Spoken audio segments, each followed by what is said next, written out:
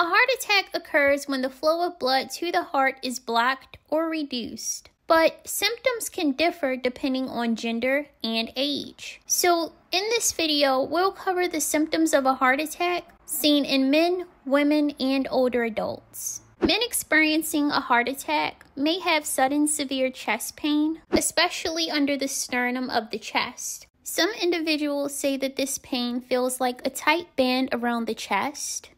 Others describe this chest pain as an elephant on the chest. Though women can experience this pain too, this symptom is more commonly displayed in men. Women typically display more vague symptoms when experiencing a heart attack, such as fatigue, abdominal pain, and shortness of breath.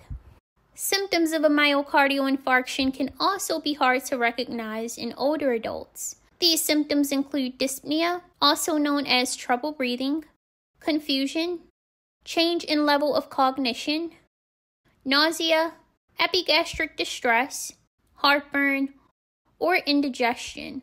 Many older adults are not even aware that they've had a heart attack until an EKG detects it months or even years later.